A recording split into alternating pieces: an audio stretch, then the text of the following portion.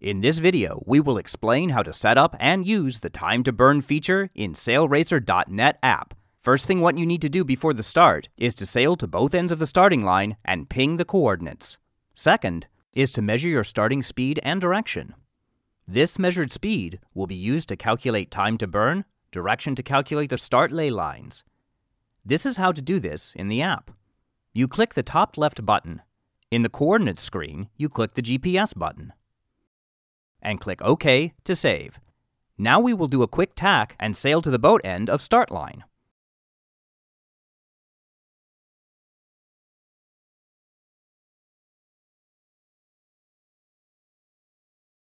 Click top right button. Click GPS. And OK. Start line set now. We see more parameters on the screen. The blinking number at the top of the screen is distance to the start line. To measure our starting speed and direction, we need to sail close hauled course, upwind, tune our sails for maximum power, and click the bottom left button. Click GPS. It takes 5 seconds to read the data. And click OK to save. Now two numbers in the middle of the compass rose shows the distance to the lay lines. We have minus 5 on the right.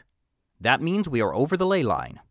When you click Start, App calculates the ideal position, where you should be if you were sailing towards the start at your maximum power. Time to burn is the time when the ideal line will reach your current position. What you need to do is to catch the line when the time to burn is zero and sail to the start at your maximum. This is how it looks in the app. We click Start. I have configured countdown for 2 minutes. We see that time to burn is 50 seconds we will do attack and move parallel to the start line.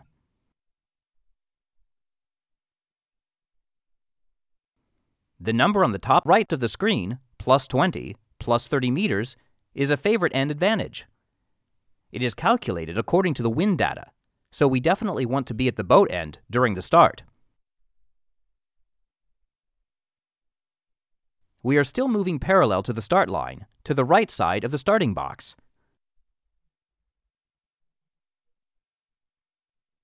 Time to burn is 20 seconds. 15 10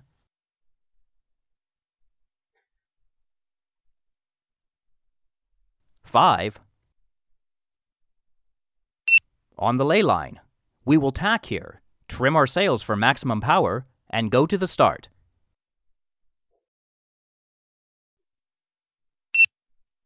Time to burn, minus one second, means that we are one second too late.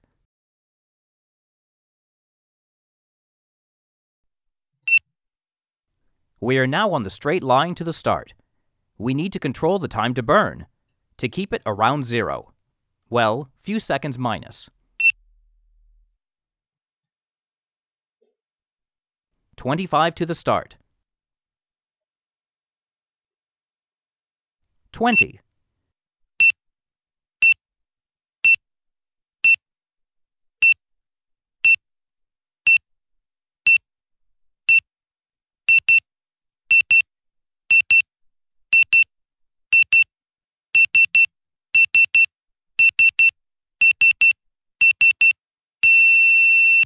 So we started on the right lay line, and during the start signal, we were 2.1 meter to the line.